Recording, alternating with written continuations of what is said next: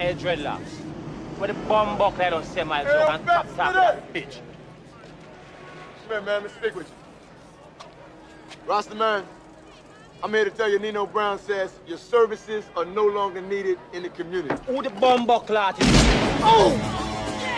Yeah! Now that's how you kill somebody, my brothers. You get right up on the motherfucker and bam! Throw his brains all over the sidewalk in broad daylight. Rock the block, baby. Brother, I think there's been a little misunderstanding. You know what I'm saying? Yes. Now look, you are gonna give up those apartments. Yes, sir. And you are gonna turn over control of the Carter to the brothers. Yes, sir. Oh, yes. Because if you don't, I guess the shotgun goes off and blows your big fat head off clean before you can get your clothes back on. Yes, sir. Is that clear? Yes, sir. Yes, sir.